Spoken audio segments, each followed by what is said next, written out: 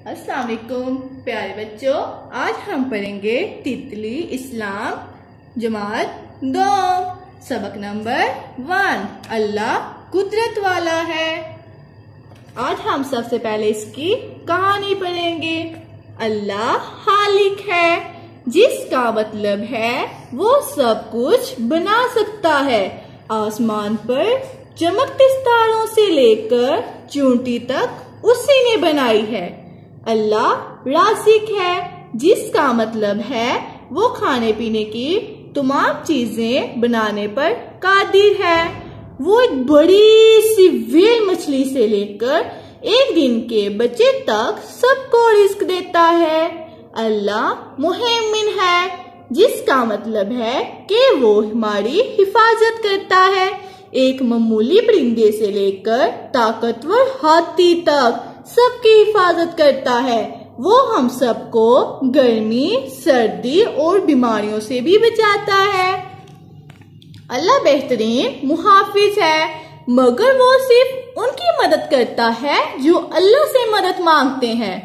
अगर आप सोने से पहले सूरतुन्नास और सूरतुल पढ़ लें तो अल्लाह ताला सोते में हर चीज़ से आपकी हिफाजत करते हैं। शितान हमें बहकाना चाहता है। आपको अल्लाह से पना मांगनी चाहिए कि वो आपको शैतान से महफूज रखे। इसमें बताया गया है कि अल्लाह हमारा खालिक है, जिसने सब कुछ बनाया है। चमकते तारों से लेकर मामूली चूंटी तक सब कुछ अल्लाह ताला ने पैदा किया है। ये सब कुछ बनाने वाला सिर्फ़ एक ही है और वो है अल्लाह ताला। अल्लाह राजिक है, वो हम सबको रिस्क देता है।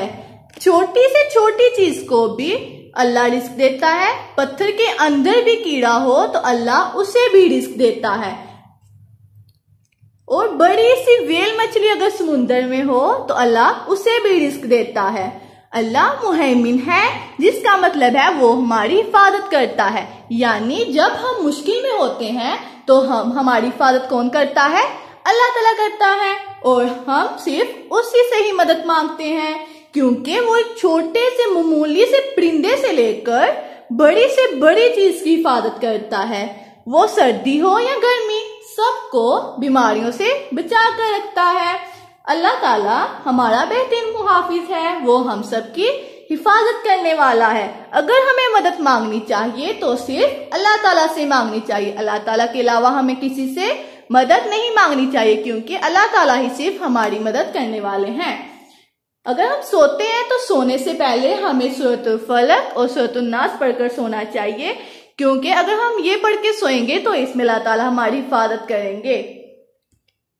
शैतान हमें बहकाना चाहता है क्योंकि वो चाहता है कि हम अल्लाह की इबादत ना करें, हम कहीं और चले जाएँ, किसी और की इबादत करें, इसलिए हमें चाहिए कि हम शैतान के बहकावे में ना आए। सिर्फ़ और सिर्फ़ अल्लाह ताला की इबादत करें और अल्लाह ताला से ही मदद मांगे, क्योंकि अल्लाह हमें राज़ी हमें, अल्लाह हमें रिजक भी देता है और अल्लाह हमारी मदद भी करता है और हमारी हिफाजत भी करता है। इसलिए प्यारे बच्चों, आज हमने इसकी कहानी पढ़ी है, अल्लाह कुदरत वाला है। कल हम इसकी रीडिंग करेंगे थ्री टाइम्स